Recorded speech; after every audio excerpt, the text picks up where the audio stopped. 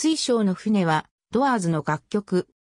この曲は彼らが1967年にリリースしたデビューアルバムザ・ドアーズと彼らのシングルの中で最もヒットしたライト・マイ・ファイアに収録されている。この曲はジム・モリソンが初めて真剣に交際した女性であるメアリー・ワービロに向けたラブソングであり、二人の破局から間を置かずに書かれた。異界の女とそれを追う混乱、水晶の船というタイトルはアイルランドに伝わる説は、混乱の異界業からの引用である。この説話では、百戦の王根の息子、コンラが超自然的な女性に見入られ、周囲の引き止めも虚しく二人で、水晶の船に乗り、彼女の住処である異界、喜びの野へと失踪してしまう。後に、アメリカンバンドスタンドにおいて、ドアーズが演奏した場面と、デスバレー国立公園のダーウィン滝で、モリソンとその内縁の妻、パメラ、カーソンを映した映像とを組み合わせ、この曲のミュージックビデオが制作された。この節に添えた歌詞の日本語訳は、北野優子によるものである。ドアーズの楽曲はしばしばレコーディングや放送の際に修正を受けたが、この水晶の船もそうした曲の一つであった。A thousand girls、a thousand thrills という歌詞は本来は A thousand girls、a thousand pills であった。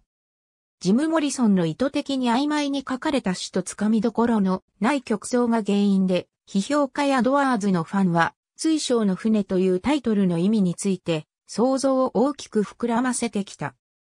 批評家のジェームズ・ペローンが、水晶の船とは単なる眠りともドラッグによるトリップとも解釈できるが、1967年には後者の解釈が広く受け入れられていたようだ、とするように、当時はドラッグカルチャーに根ざした解釈が根強かった。一方、1990年に発表されたドアーズのドラマーであったジョン・デンスモアの自伝 Riders on the Storm、My Life with Jim Morrison the Doors によると、モリソンの死後、水晶宮を模した花の音質を訪れたデンズモアは、これまで意味のつかめなかったこの歌が信仰のバンドであったドアーズの船出を歌った歌であったことを理解した。この解釈に至った時、デンズモアはペヨーテの影響下にあったことが記されているが、ともかく歌詞の解釈そのものはドラッグカルチャーから切り離されたものだった。こうしたデンズモアの解釈を哄笑する投書がロサンゼルスタイムズ紙に寄せられた。ドラッグ世代の一員を自称するこの投稿者はモリソンの死は見た目通りのものではなく、水晶の船はクリスタルメスについての曲であり、船は注射針のキスとはドラッグの注入の隠喩だと主張した。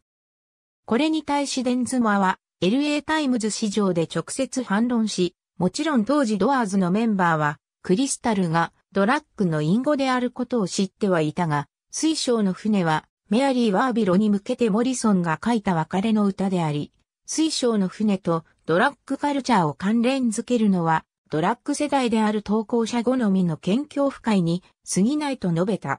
ありがとうございます。